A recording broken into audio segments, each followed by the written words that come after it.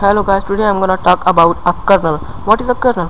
Kernel is a program which uh, are built in an every operating system or a device mm, like uh, windows linux android ios etc etc so um, kernel is a program that allows a software to get a full access to device hardware other hardware components.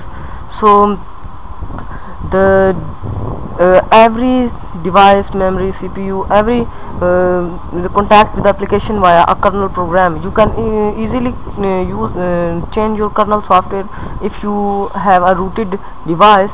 If i install a camera application in my device so this device needs a um, access uh, to my camera flash saving permissions etc so, so these uh, permissions are give, give it to from kernel software. So please subscribe if you like it. Thank you for watching